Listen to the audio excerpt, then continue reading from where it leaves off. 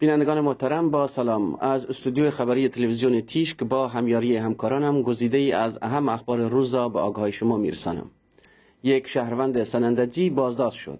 شهروند سنندی چند روز پیش از سوی نیروهای امنیتی دستگیر و روانه زندان شد. یک شهروند ساکن سنندج به نام محمد کعبی چند روز پیش از سوی نیروهای امنیتی دستگیر و روانه زندان شده. بنا به آژانس خبری مکریان درباره علت دستگیری این شهروند از سوی مراجع هیچ اطلاعی داده نشده است. همچنین فعالان حقوق بشر در ایران خبر می‌دهند که زینب بایزیدی از فعالان حقوق بشر که در حوزه حقوق زنان فعالیت مینمود و 23 روز است در زندان مهاباد در بازداشت به سر می‌برد. امروز به دادگاه احضار و تفهیم اتهام شد. زینب بایزیدی از خود به دفاع پرداخته و اتهامات ذکر شده را بی اساس خوانده است. یکی از متهمان پرونده آیت الله بروجردی روانه زندان شد.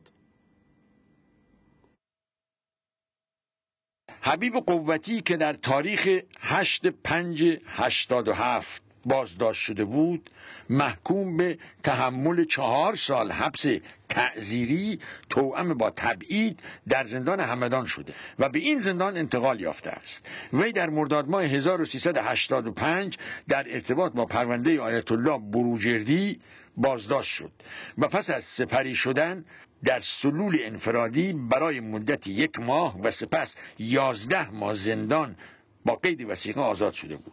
وی در دادگاه اولیه به اعدام محکوم شده بود. اما در تجدید نظر به چهار سال حبس تعذیری توأم با تبعید در زندان همدان تقلید یافت. آیت الله کاظمی بروجردی و شماری از همفکرانش در زندان جمهوری اسلامی به سر می‌برند. هیئت اماراتی در تهران ادعا کرد که جزایر سگانه جز خاک امارات است. انور قرقاش وزیر مشاور در امور خارجه دولت امارات متحده عربی روز گذشته در پانزدهمین نشست وزرای خارجه جنبش عدم تعهد بار دیگر ادعای این کشور درباره جزایر سگانه ایران را تکرار کرد. هیئت امارات در اجلاس کشورهای غیر متحد در تهران گفته است جزایر سگانه به, اما به امارات تعلق دارد. وزیر مشاور در امور خارجه دولت امارات متحده عربی روز گذشته در پانزدهمین نشست وزرای خارجه جنبش عدم تعهد طی یک سخنرانی ادعای امارات متحده عربی را.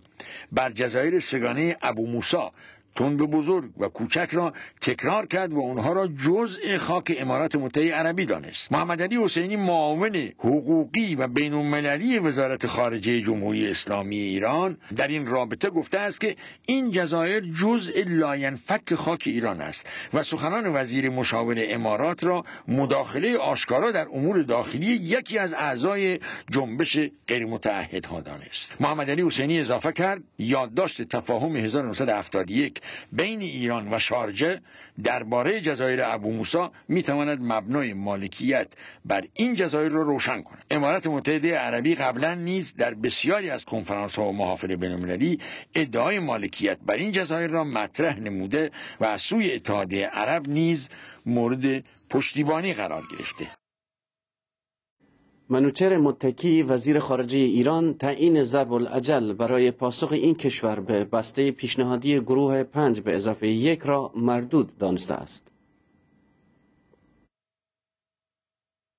منوچر متکی وزیر خارجه جمهوری اسلامی ایران تعیین هر گونه جدول زمانی برای پاسخ به بسته پیشنهادی گروه پنج به علاوه یک را مردود دانست و در یک کنفرانس خبری در تهران گفت تاریخ تعیین کردن و مطرح کردن ضرب العجل برای ما مفهوم نیست. در پایان مذاکرات جمهوری اسلامی و کشورهای پنج به علاوه یک که روز 19 ژوئیه در ژنو صورت گرفت نماینده اروپا اظهار امیدواری کرد که جمهوری اسلامی ظرف دو هفته به بسته پیشنهادی غرب جواب دهد و در روزهای اخیر کندالیزا رایز و بسیاری دیگر از مقامات غربی خواستار اون شده بودند که تا روز شنبه آینده و تمام شدن مهلت دو هفته ای پاسخ مثبت ایران را دریافت کنند.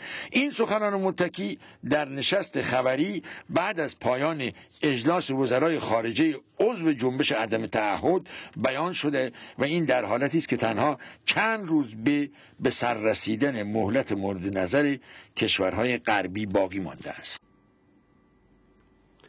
سوریه و اسرائیل چهارمین دور مذاکرات غیر مستقیم صلح در استانبول را برگزار کردند. به گفته مقامات ترکیه جدیدترین دور مذاکرات با میانجیگری ترکیه که چهارشنبه تمام شد سازنده و مثبت بود اما آنها می‌گویند هیئت‌های اسرائیل و سوریه هنوز با مذاکرات رو در رو موافقت نکردند. مقامات ترکیه گفتند روز چهارشنبه سیوم جوان چهارمین دور مذاکرات غیر مستقیم صلح بین سوریه و اسرائیل به میانجیگری ترکیه در استانبول پایان رسیده است و طرفین موافقت کردند در ماه آینده دور دیگر این مذاکرات را ادامه دهند. اهود اولمرد نخست وزیر اسرائیل دیروز گفت سوریه باید بین صلح و انزوا یکی را انتخاب کند. همچنین بین مشارکت با ایران یا قنای اقتصادی و مکانی در خانواده ملت ها تصمیم بگیرد سوریه قبلا اعلام کرده است در صورت پس گرفتن بلندی های جولان اسرائیل را به رسمیت خواهد شناخت و با این کشور صلح خواهد کرد. قرار است بشار اسد هفته آینده رهسپار تهران شود. وی ماه گذشته در پاریس با نیکولاس سارکوزی ملاقات کرده و درباره برنامه های هسته ای ایران گفتگوهای انجام داد. همچنین صلح با اسرائیل نیز از مواردی است که در مناسبات بین ایران و سوریه بحثانگیز بوده. بحران اسرائیل به دنبال طرح اتهامات فساد مالی و کاهش محبوبیت اهود اولمرت نخست وزیر اسرائیل روز چهارشنبه اعلام کرد. ماه سپتامبر از مقام خود کرانگیری خواهد کرد. اهود اولمرت نخست وزیر اسرائیل گفته است دو ماه دیگر از پست نخست وزیری و رهبری حزب کدیما کنار می رود و در انتظار آن است که در این مدت رهبری تازه برای حزب کدیما برگزیده شود. وی تأکید کرده است که در انتخابات آینده این حزب برای تعیین یک رهبر خود را کاندیدا نخواهد. نخست وزیر اسرائیل به خاطر اتهامات مالی که به وی وارد شده است به دادگاه فراخوانده شد. و یک بازرگان آمریکایی به نام موریس تالانسکی علیه وی شهادت داده است. اولمرت همه این اتهامات وارده را رد می کند از سوی دیگر بنیامین ناتیاناهو رهبر حزب لیکود امروز پنجشنبه 31 ژوئیه به رادیوی دولتی این کشور گفت باید انتخابات زودرس در اسرائیل برگزار شود و به مردم فرصت داده شود درباره دولت آینده تصمیم بگیرند بر اساس خبرهای رسیده القاعده در عراق تضعیف شده است. روزنامه آمریکایی واشنگتن پست در شماره پنجشنبه 31 ژوئیه مقاله ای را درباره القاعده در عراق انتشار داده و گفته است القاعده در عراق دچار آشفتگی و ضعف شده و به دلیل شکست هایی که متحمل شده نیروهای خود را به افغانستان و پاکستان میفرستد. به نوشته این روزنامه به نقل از سرتیب برایان کلر از افسران ارشد اطلاعاتی ستاد ژنرال پتریوس شبکه القاعده عراق به رهبری و ابتکار جنگجویان خارجی در داخل عراق شکل گرفته و یکی از بیرحمترین و خطرناکترین گروه های مخالف در این کشور بودند. مقامات امنیتی عراق گفتند رهبر القاعده عراق روز دوازدهم ژوئیه سال جاری همراه با دو تن دیگر از منطقه زرباتیه وارد خاک ایران شده و از این طریق رهسپار افغانستان گردیده. حزب حاکم ترکیه منحل نمی شود.